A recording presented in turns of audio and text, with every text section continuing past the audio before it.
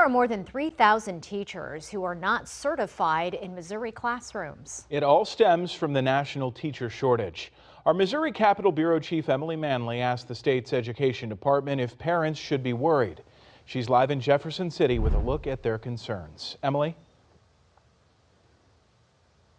Yeah, Mike, the Department of Elementary and Secondary Education says that inappropriately certified means an educator who is teaching in a content area where he or she is not appropriately certified. And like you said, Mike, it all goes back to the teacher shortage crisis the state is suffering.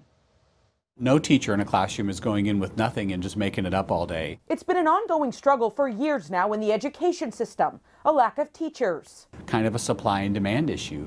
We're just not creating enough new teachers for the demand that's out there. Paul Katnick, an assistant commissioner in the Office of Educator Quality at DESE, says the department was watching the number of educators fall before COVID but the pandemic expedited the problem. And despite our early efforts, we weren't turning numbers around, and we haven't turned them around yet. According to the teacher workforce report Katnick provided to the State Board of Education this month, the content areas with the highest number of inappropriately certified teachers are in elementary education, followed by special education. There are people who are on provisional certificates because that means they're working on a program.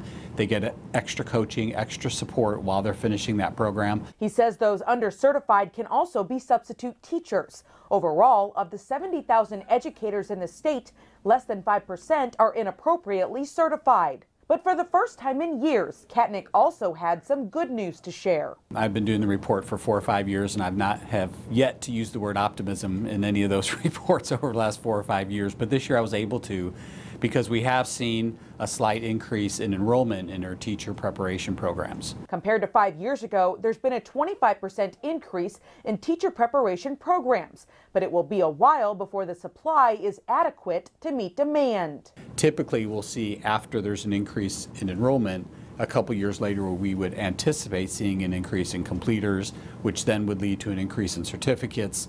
Then they're actually out in the workforce and helping fill our classrooms.